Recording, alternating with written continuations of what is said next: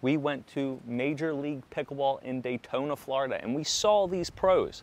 And a lot of coaches say, including myself, say what? You want to hit the ball deep into the middle every single time, which is a great return tactic to do. But I was watching a lot of the players, and a lot of the players, they were not just hitting deep into the middle, but they were also hitting short.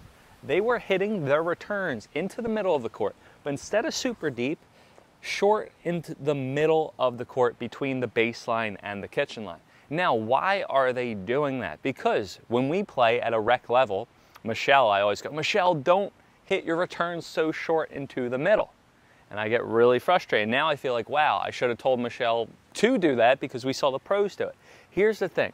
When you hit the returns short into the middle, you have to make sure that you keep the ball low. Because if someone returns the ball, I serve, Michele returns, and then I have my third ball at strike zone level, above my waist, I can come down and really rip the ball. But what these pros were doing, instead of returning the ball super high, the ball was super low. So it would be short and low, but look, if it's short and low, what's the only thing that I can do, Michele? Lift the ball up. I can hit the ball up in the air. By hitting the ball up in the air, this is not going to be an offensive shot. So again, by returning the ball low, and shallow into the court, that's going to cause the server to what? The server is going to, okay, here we are, I got the next ball. They're going to come up and they're going to pop the ball up and not be offensive. And look, probably seven times out of 10, you will take that deep return. So when the server gets this third shot, when the returner returns the ball to the server, they're not expecting a short, spinny return all the time. And if you guys can use your slice, it will keep the ball low.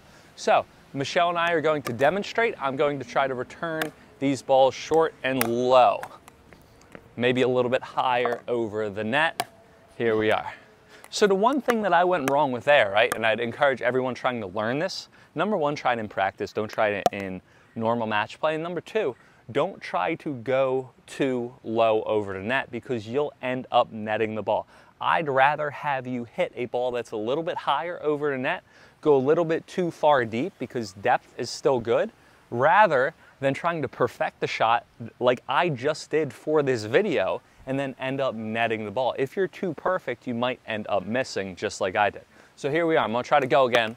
I'm gonna try to get it good for you guys, but here we are. So look, I'm gonna keep it low and to the middle. And look, Michele couldn't even get that ball because it was so low and it died down. There is a ton of wind. We're using these mics to get rid of the wind, but slice low and wind, I mean, that's amazing because what does Michele want to do? She wants to stay back because she thinks that what?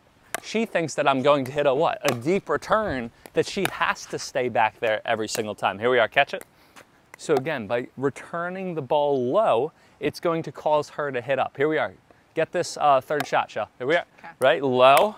Here we are. So now she's got hit up. And now look, I am at the kitchen in a good offensive position.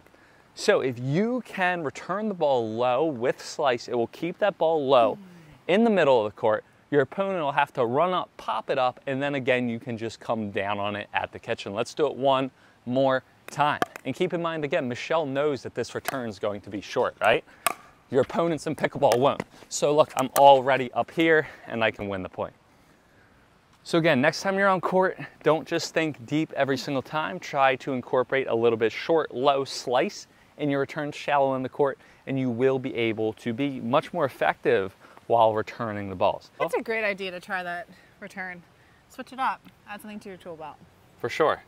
Variety is always key, everyone, and that's a big thing. And again, where you guys saw me miss the first one is sometimes in pickleball, we try to be too perfect, mm -hmm. and we end up missing. Just like another time we were playing in open play this morning, I was trying to go down the line. Their opponents, like the one guy was over here, the other opponent went over here, and I had all this open court and I tried to paint the line, tried to pinpoint the line when I ended up missing. Rather, if I just went to that open court, gave myself some margin for error, I would have easily won the point. Correct. So don't always try to be perfect, right? You want... Just do the smart shot. Yes.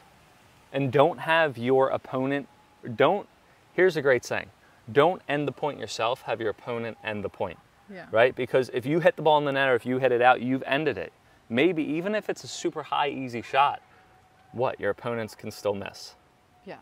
All right. Any other questions? They don't even get a chance though if you hit the ball in the net. Yes. That's the purpose of this conversation. So if you guys have any questions, comments, or concerns, please let me know in the comments below. Make sure to follow the Pickle Yogi, Pickleball with Tyler. Make sure to check out our meetup group. We host weekly Zoom trainings, and make sure to check out our link to our Selkirk paddles. If you use our link, anything on the Selkirk website, you get a gift card with your purchase. Have a good one and happy hitting.